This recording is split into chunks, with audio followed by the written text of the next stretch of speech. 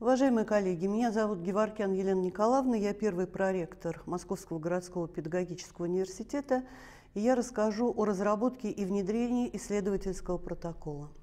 Это одна из частей стратегии развития университета до 2025 года. И скорее я буду говорить не о разработке, а о доработке и совершенствовании исследовательского протокола.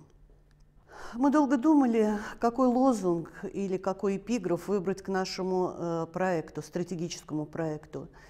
И решили взять за основу слова Густава Малера, который говорил, что традиция – это передача огня, а не поклонение пеплу.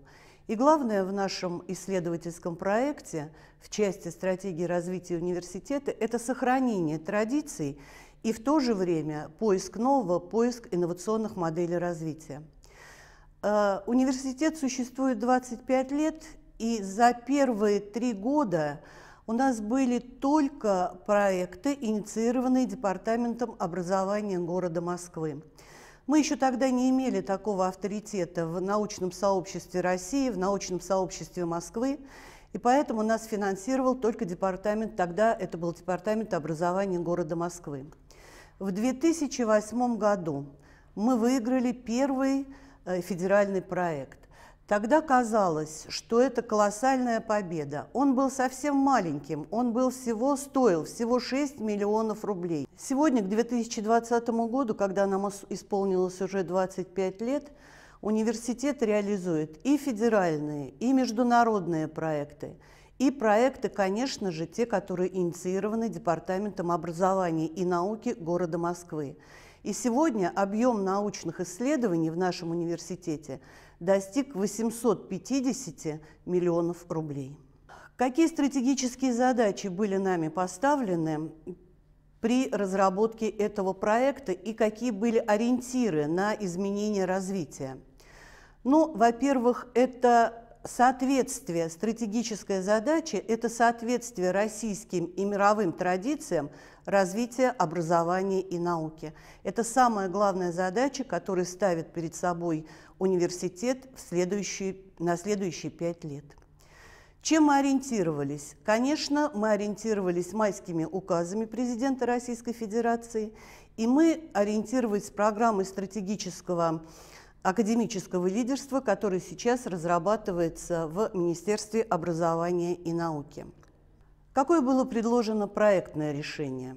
Но первое – это формирование инфраструктуры, обеспечивающей повышение качества научных исследований. Что уже сделано нами в этом плане? Уже часть этой программы у нас реализована. Во-первых, создан фонд поддержки инициативных исследований Московского городского университета.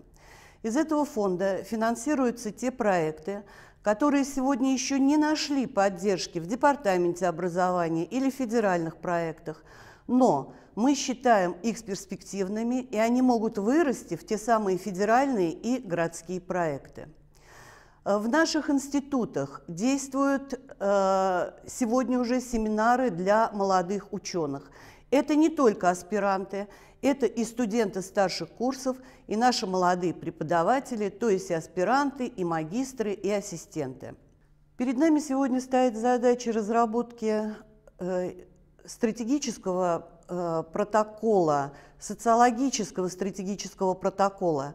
И перед нами стоит задача привлечения э, к нашим исследованиям специалистов, э, молодых ученых из других регионов. Сегодня у нас для этого есть определенные условия. В МГПУ строится своя гостиница, и как только она войдет э, в строй, можно будет приглашать молодых ученых из других регионов. Самая главная задача, та задача, которую перед нами ставит Департамент образования и науки, как наш основной заказчик, это ориентация наших научных исследований на конкретного потребителя. Мы э, планируем проводить отбор тематики научных исследований, в том числе и с привлечением базы больших данных.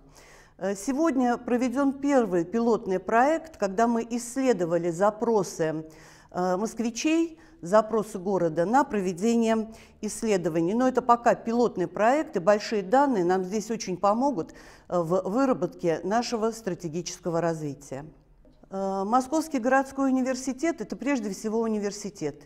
И для нас главной задачей является использование результатов научных исследований в образовательных программах, в обучении наших студентов и аспирантов. Сегодня примерно 90% наших магистрских программ спроектированы с учетом результатов научных исследований. Мы ставим перед собой цель, чтобы в наши программы входили те научные исследования, которые нашли э, отражение в международных публикациях, в тех публикациях, которые индексируются в международных наукометрических системах. Э, следующая задача нашего проекта – это обеспечение открытости и доступности отбора и результатов научных исследований. За 25 лет своего существования университет стал серьезной экспертной организацией. Нашими учеными дается более тысячи заключений на авторефераты по защите докторских и кандидатских диссертаций ежегодно. Университет выступает в качестве ведущей организации по защите диссертаций.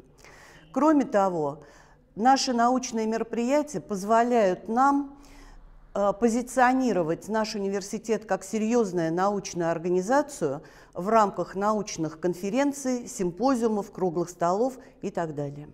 Следующая задача, которая стоит перед нами, это повышение публикационной активности наших преподавателей и научных работников.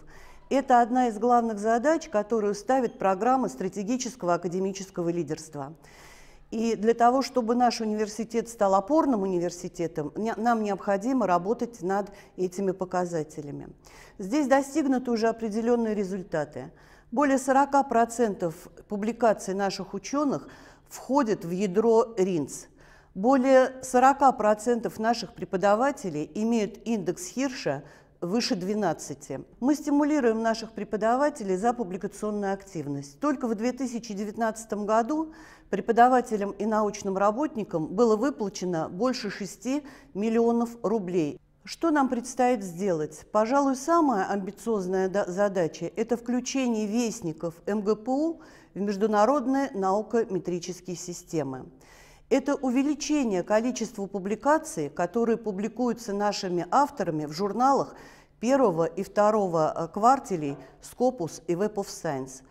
Для решения этой задачи нам предстоит создать службу поддержки наших преподавателей, которые планируют публиковаться в журналах, рецензируемых в наукометрических международных системах. Итак, что мы видим основными результатами реализации нашего проекта? Конечно, основной результат реализации проекта – это укрепление научной репутации университета. О всех остальных результатах я уже сказала, комментируя предыдущие свои слайды. Ключевые показатели эффективности реализации нашего проекта. Нам представляется, что основным показателем, ключевым показателем нашего проекта должно быть привлечение молодых ученых к реализации наших научных исследований. Благодарю за внимание.